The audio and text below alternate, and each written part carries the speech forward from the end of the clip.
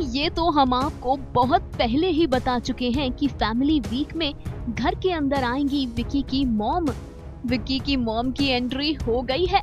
लेकिन अब एक बार फिर से अंकिता की सासू माँ और विकी की माँ को कहा जा रहा है टॉक्सिक असल में अंकिता लोखंडे को उनकी सासू माँ ने कहा कि जिस दिन तुमने विकी को लात मारी थी ना, उस दिन पापा ने तुम्हारी मम्मी को उसी वक्त फ़ोन किया।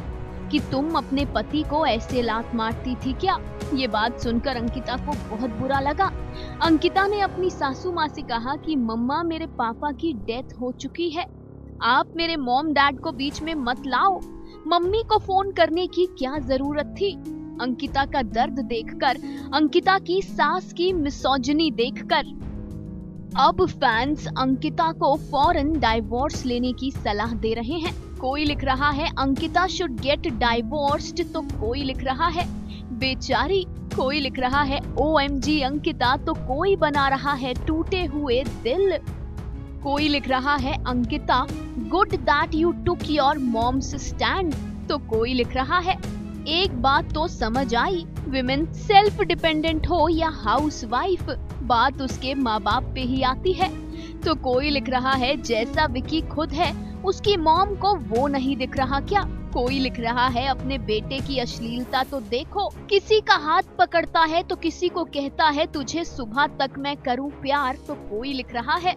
विकी ऐसा इसीलिए ही है। इसकी माँ की सोच तो देखो। जी हाँ विकी जैन की मॉम को एक बार फिर से पब्लिक कोस रही है। बुरा भला कह रही है। पब्लिक दे रही है अंकिता को फ़ौरन अलग हो जाने की सलाह। विकी जैन के पिताजी अगर आप हमें सुन रहे हैं तो होंगे आप बहुत पैसे वाले। लेकिन ये जो पति भगवान वाली फिलॉसफी लेकर आप जी रहे हैं ना, इस बीच आप कहीं इंसानियत खो बैठे हैं। एक औरत जिसने अपने पति को खोया, उससे आप फ़ोन करके ये पूछ रहे हैं कि तुम भी अपने पति को ऐसे ही लात मारती थी। इस पर हम आपको क्या ही कहें।